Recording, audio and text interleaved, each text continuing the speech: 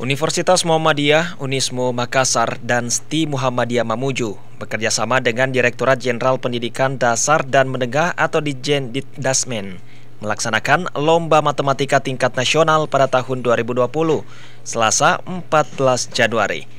Kegiatan itu dikemas dengan kegiatan proyeksi kreativitas ilmiah mahasiswa matematika tahun 2020 dengan tema Wujudkan SDM unggul di era revolusi industri 4.0 melalui kompetisi ilmiah matematika.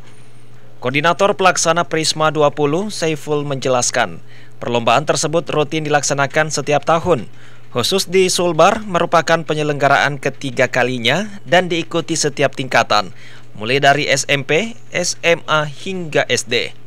Kami dari mahasiswa Universitas Muhammadiyah Makassar, khususnya HMJ Pendidikan Matematika, mengadakan lomba matematika tingkat nasional ya, bernama Prisma 20. Oh iya iya. Ya, Proyeksi ya. kreativitas ilmiah mahasiswa matematika.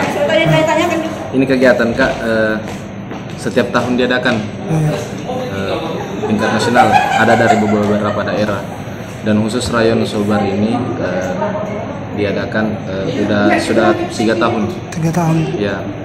Saiful menambahkan untuk proses seleksi tahap pertama di tingkat provinsi kemudian dilanjutkan di tingkat rayon Makassar. Untuk peserta tahun ini di Sulbar diikuti 30 tim.